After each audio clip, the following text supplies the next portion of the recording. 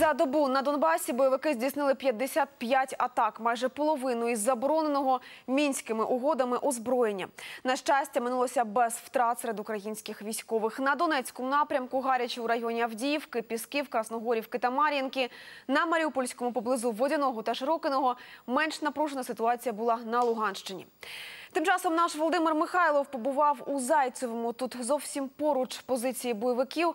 У селі три роки немає мобільного зв'язку, два роки не було електрики. А про небезпеку люди попереджають одне одного, стукаючи по трубах.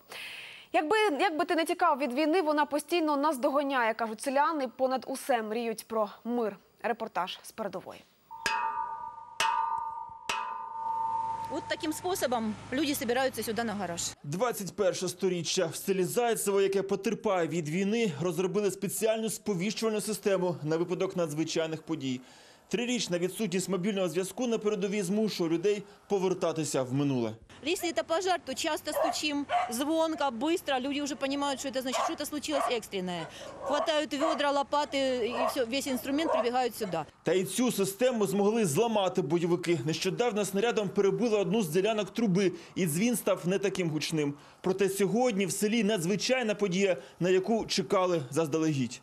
Раз на місяць сюди в Зайцево приїжджає пересувний броньований банк. Тут під охорону виплачують готівку та сплачують за комунальні послуги. Все через супутниковий зв'язок з Майорськом.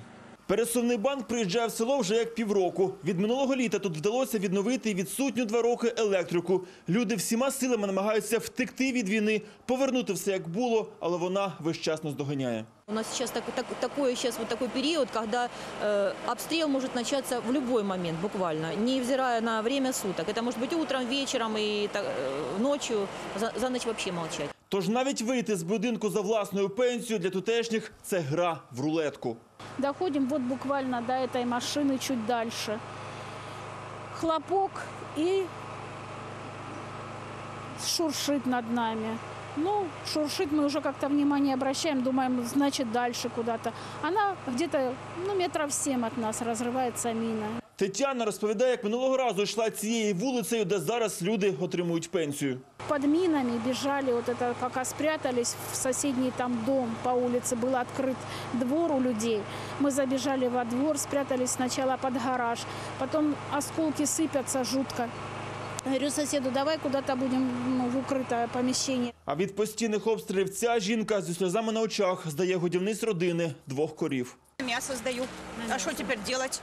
Где пасти я буду? Ни пасти, ни сена, ничего нету. Хоть бери, да самой ложись. А це крайня заселена хата у Зайцевому. За парканом вже видніються позиції бойовиків. А выше нема никого, побросали люди. Ну, зря они это сделали. Три улицы нема вообще пустых. Та попри близькість до передової, Олександр зміг зберегти захоплення з дитинства – сотню голубів.